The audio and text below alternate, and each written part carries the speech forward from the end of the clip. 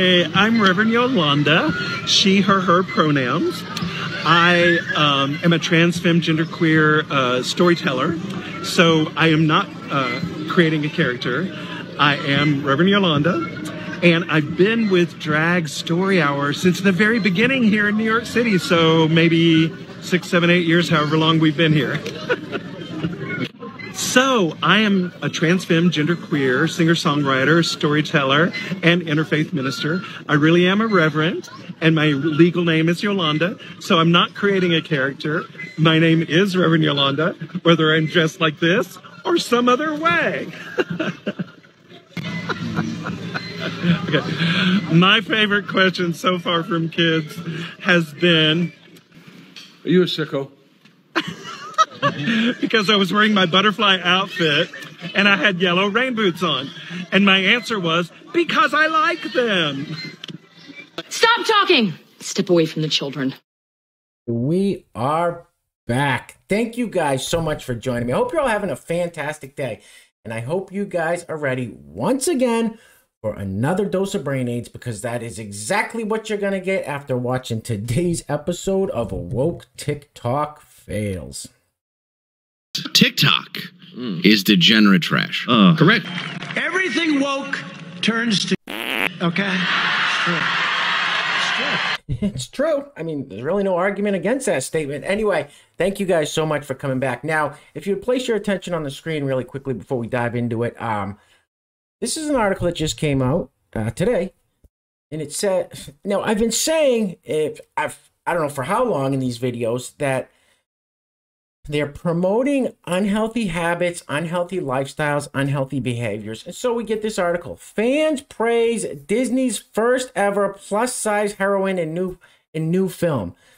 So I don't know what film this is. I don't know who the character is, but Disney has come out with a plus size character.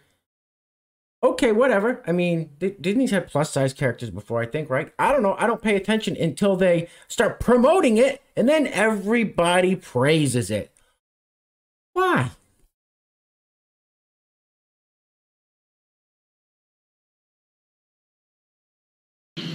Oh wait, was she a great big fat person? No, no, it's, it's not a real person. That was an animated Disney character that they came up with. This is a real person.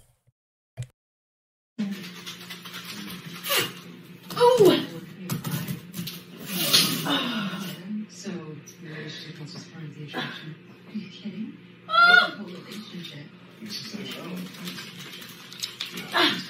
Holy cow. Now that was a real person. Oh boy. And see, would have just it would have been just fine if they didn't do that, if they didn't make that character.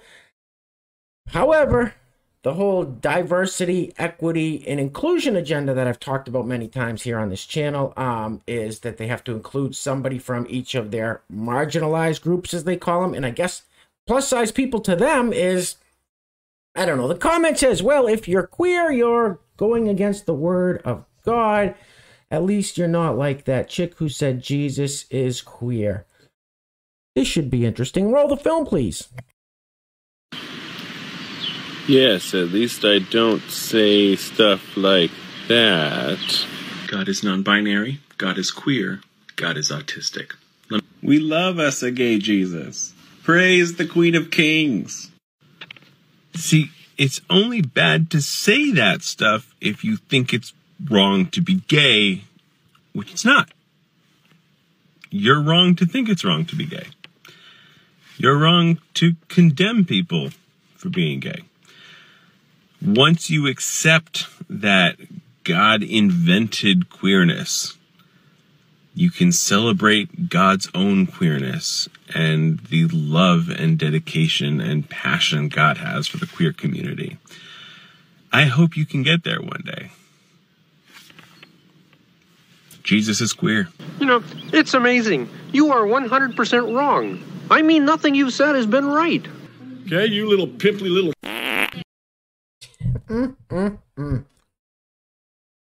Wow. Okay. These next two clips um kind of go hand in hand and they're teachers. Shocking, shocking. I know. I know. Uh I still don't understand any of what this person says, how it has any revel- relevance to the students, why this, any of this would ever.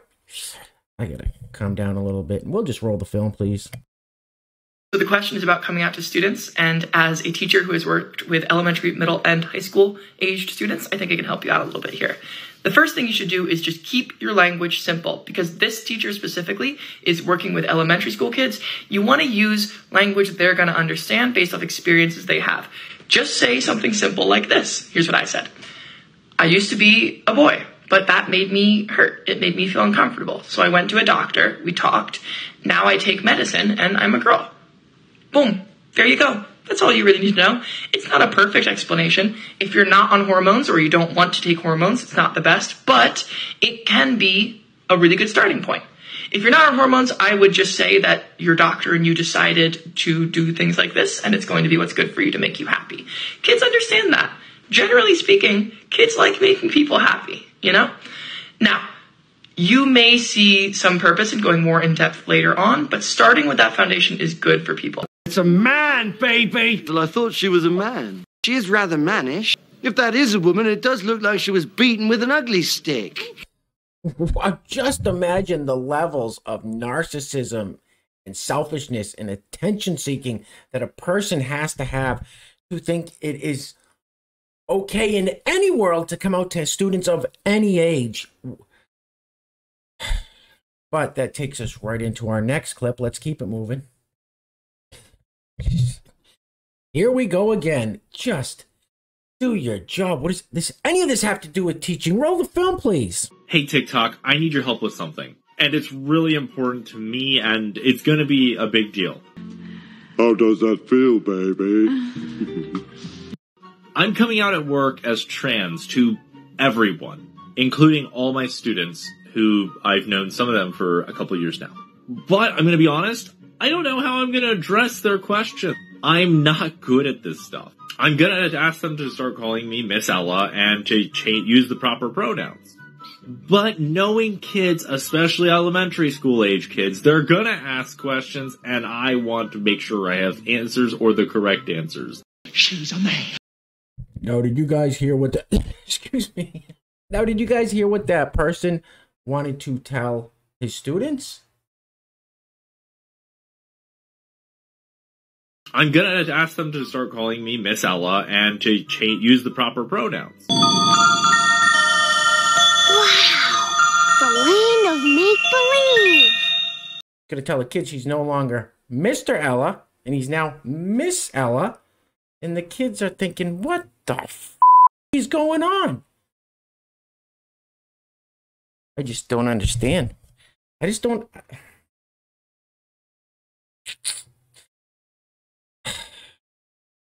Roll the film. Here's your little reminder non binary doesn't look like anything, doesn't look like a specific thing. You can't be non binary correctly. Now, I need you to listen to me. I'm going to say that again. You can't be non binary correctly. You can't be non binary enough. You can't look non binary in the right way. You look ridiculous.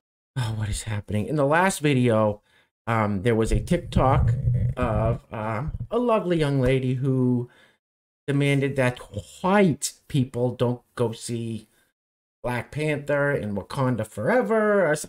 I don't know. I don't know what she was talking about. I don't really care. Uh, I'm not going to see him. Don't worry. Um, here is another one fairly similar to that about Wakanda Forever.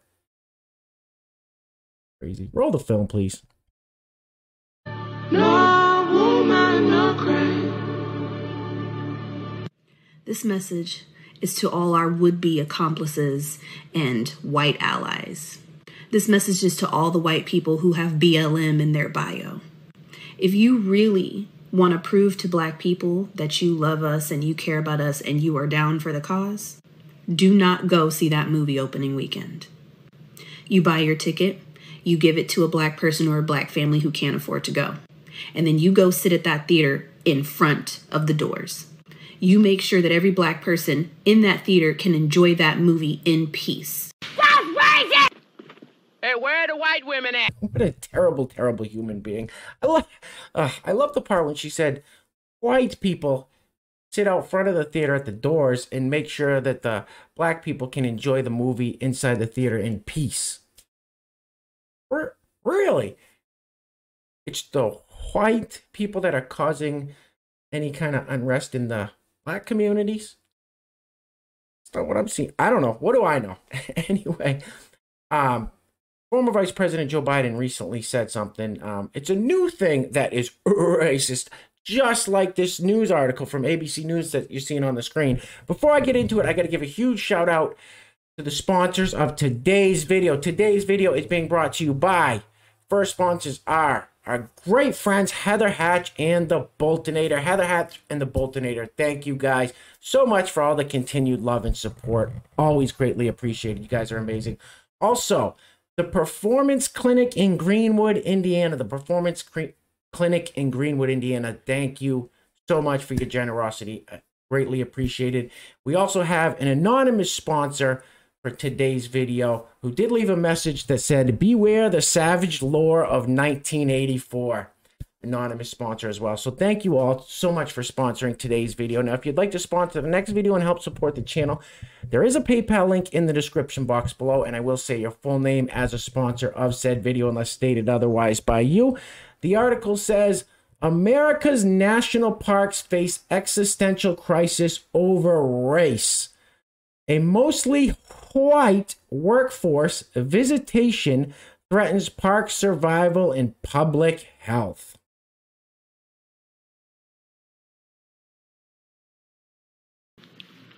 That's the dumbest thing I've ever heard in my life. How how insane do you have to be to write an article like that?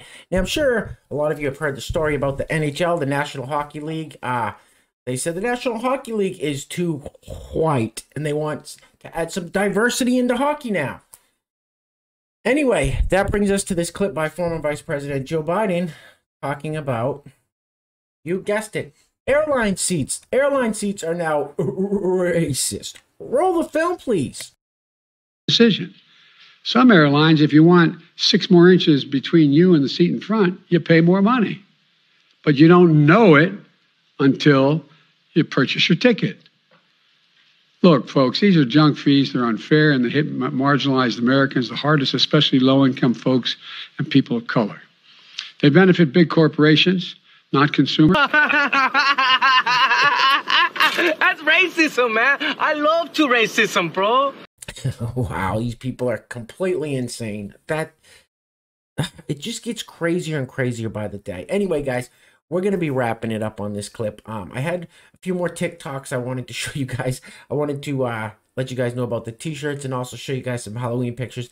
I'm having some Wi-Fi issues, so I'm gonna wrap it up on this one. Don't worry, we'll save the rest for the next video and there is plenty of content it's like a big fire hose of content of this woke sjw insanity pouring down on us so no shortage of content so we're going to end it here so if you made it this far give yourselves a round of applause a pat on the back you guys know i can't do this alone so thank you all so much for trudging ahead the greatest community on the youtubes thank you guys um anyway guys remember these people tell you that that you can choose your gender or sex whatever they call it but if you want choose who you want to date for a certain reason, then you're uh, fat phobic or racist. None of what these people ma- say makes sense. It's it's all just complete insanity, and that's I've said before. That's the purpose of this whole silly little exercise is to create chaos and confusion. That's exactly what they're doing. Um. So anyway, guys, things are clearly getting crazy out there. Take care of yourselves. Take care of each other. Till next time. Love you guys. Peace. Roll the film, please. Let's talk about dating preferences. This video was so good, you must watch it, and I want to branch off and talk about how it relates to fat phobia and dating. A lot of times when people are asked, why don't you date fat people, trans people, people of color, whatever, they will say, it's just a preference. I'm just not attracted to them. I can't make myself be attracted to someone I'm just not attracted to. The implication here being that preferences are innate, unchanging, and completely independent of any outside factors or societal norms. And therefore, that they are inherently unproblematic. Like, it's not fat phobia, it's just who I am. I can't help it. But I think it's actually a lot more complicated than that. Our desires are not immune to social conditioning. Although, of course, you can't change your sexual orientation, when we see a certain type of body glorified, praised, and labeled as desirable in media, from the time that we can even process those messages, it's not going to not have an impact on us. And the fact is, at least anecdotally, lots of fat people report being desired by many people. But the piece that isn't there is the social acceptance.